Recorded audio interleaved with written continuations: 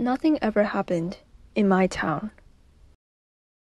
I often kept to myself in my own room, reading, drawing.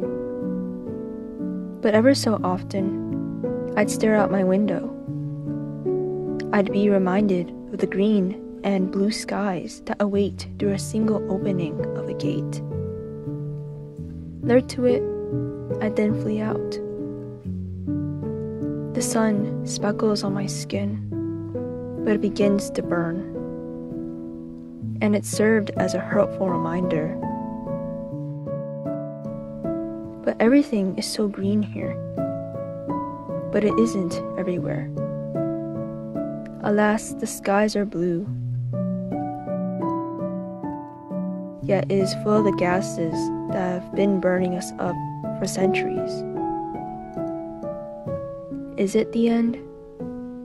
Will things never be changed? Will we keep on losing more every day?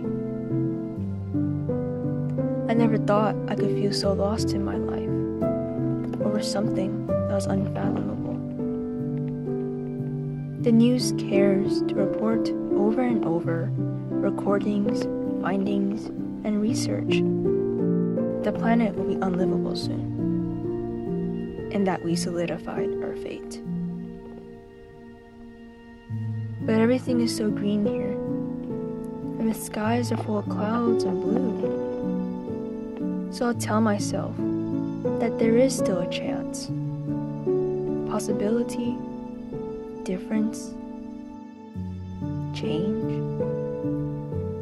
For the things we've cherished, for the things we want to continue seeing. I see that the things around me are what I want in my future.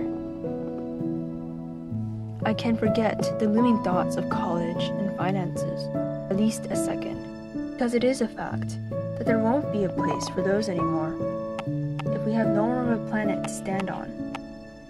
So I'll see, say, and think for myself on this climate crisis that it may be burning up the world, that it may be flooding it bit by bit, that every passing day may be long but decades are short. Of all that in mind, that even the smallest initiatives, like joining my school's environmental club, can inspire bigger ones. Like myself, climbing from a shy member to a wild upcycler. That any step I take past the fear will be better than none.